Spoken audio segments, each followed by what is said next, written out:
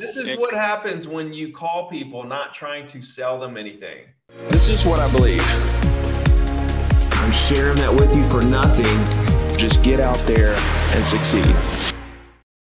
Hope everybody's doing super well. Look, man, I'm telling you, I'm, I'm going to reiterate here fired up for 2021. And it all starts right now.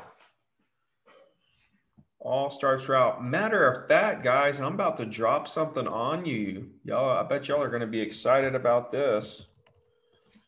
I bet y'all are going to be excited about this. I haven't released this yet. This is just for people watching this video.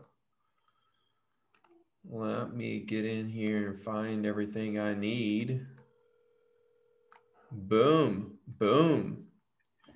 Okay, here we go. I'm going to drop this. Hi, Miss Janice. Hi, how you doing today? This is Tim with EXP. How you doing today? What's EXP, huh? EXP Realty. I'm a, uh, lo- I'm a local real estate agent. I was just calling to see how you're doing today. Good. Um, I got divorced and I didn't get the house, so I just wanted to let you know. That is perfectly okay.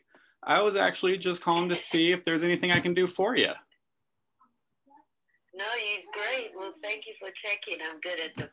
Do you have an agent that you would work with if you decide to uh, make a purchase or sell in the future?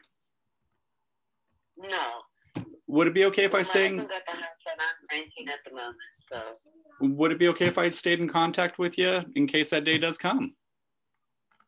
yes, that would be wonderful. Wonderful. What's your best email?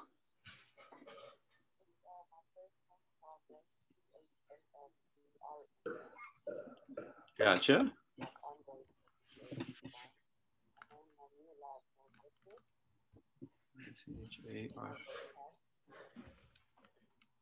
Gotcha. At gmail.com. Wonderful. I will stay in contact without with you and uh, touch bases every now and then. I look forward to talking to you in the future. Wonderful. Um, what time frame are you looking at?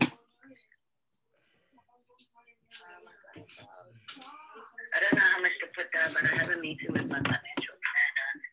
I a year's lease, so it wouldn't be for a year. So if you could just stay in touch or if I have your contact information. Perfectly fine. Is it okay if I call you like every three months? Yeah. Wonderful. I will be giving you a call in about three months. Okay, great. Thank you. Take care. My pleasure. Have a great day. You too. All right. Oh, yes, dude. Look at there. Look at there, bro. That was about as smooth as ice, man. I'm gonna call you the Iceman, bro. you are the Iceman. So what's going on three months? I didn't catch all that. So she just got divorced. Uh, she just signed a one year lease, um, but she's talking with a financial advisor because she wants to purchase again in a year. Um, so she basically just said follow up with her every three months, and um, that way we don't lose contact. And if she her situation changes and we can do something sooner, we will. Isn't it amazing how someone says, I'm not ever going to look to do anything, right? And by the end of the call, they're telling you that they're going to buy a house in a year. Yep. Is that is this not amazing? Yeah. This is It- what happens when you call people not trying to sell them anything. Yeah. and you actually try to connect with them, right? Through your tone, through your questions, your intentions. Look at what just happened here. You, you got an email from someone who said they're not looking to do anything. Absolutely. And it turned into a conversation, and, and like you're going to check on her every three months to sell her a house in a year. Beautiful. Love it.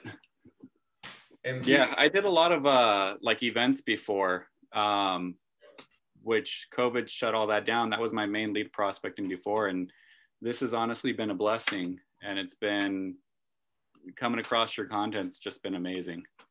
Yeah, absolutely, man. It's uh it's all the stuff that it took me a decade to learn, you know, a decade and a half.